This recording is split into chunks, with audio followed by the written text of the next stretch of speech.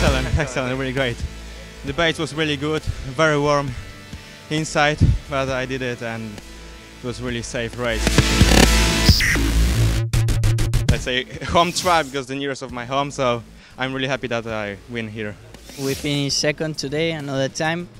We're still working for the win. We need the win to be competing in the championship and nothing. We will keep working until the last day for win.